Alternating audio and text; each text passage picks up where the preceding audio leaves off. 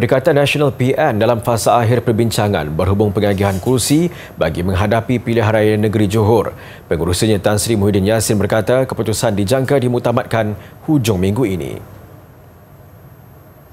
Ada sedikit ada pertindahan kepentingan antara parti-parti yang kita dah beritahu. Yang ini uh, tim negosiator akan selesaikan.